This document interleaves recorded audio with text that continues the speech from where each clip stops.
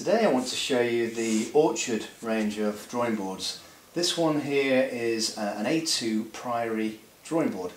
Um, this actually has an all steel frame at the back here and has a multi-adjustment uh, rack system here at the back which means you can have the board at an angle of 45 degrees um, and 13 different adjustments right the way down to flat.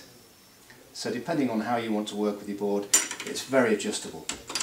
On the back also, we have the crosswire system, which you can see here.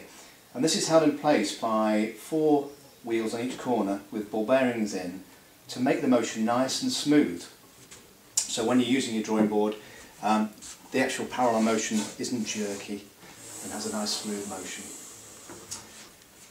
Now, the actual parallel motion itself is of steel construction with a 15mm uh, acrylic rule on the top there, so you can actually see your work as you're using it.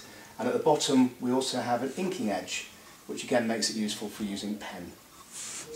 A very sturdy board, um, it comes in A3, A2 and A1 size. We actually only stock the A2 and A1.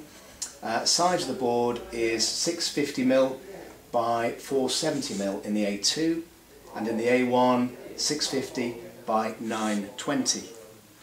Um, again, very good board, very good quality and ideal for professional use and for student university use um, as it is, say, very sturdy board.